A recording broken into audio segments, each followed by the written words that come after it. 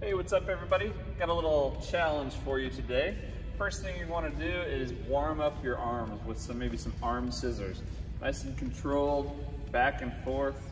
After about eight or 10 of these, then you might want to start to stretch it with a hold. So just kind of hold it and then get the other arm. A couple more just to make sure. Maybe do a little reach behind and another reach behind.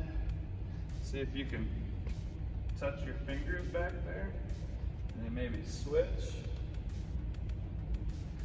All right, because we're gonna use our arms for this challenge. So you're gonna turn your hand upside down and place it on the wall like this. Once you put it there, your hand cannot move and you need to try to go under your arm all the way. My fingers have not moved and then go back.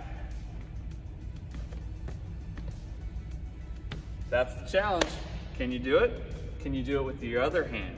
Can your siblings do it? Can your parents do it? Test it out. See what you come up with.